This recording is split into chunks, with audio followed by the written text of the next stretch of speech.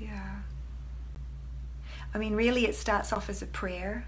It's a prayer and a direction and a desire.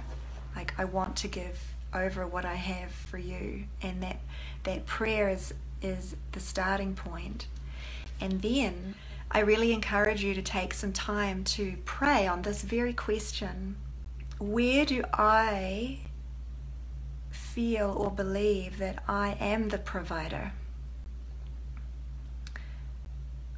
Where do I feel or, or believe or experience in my life that I am in control or I would be afraid of, of giving over control?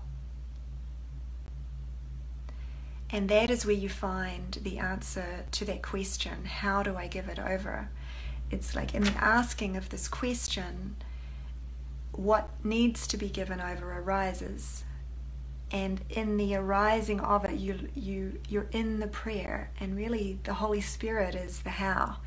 The Holy Spirit is the healer.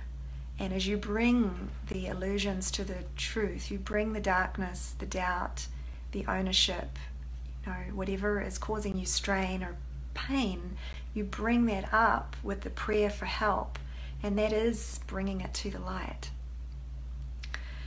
So, yeah, I really encourage everyone to to really contemplate this this question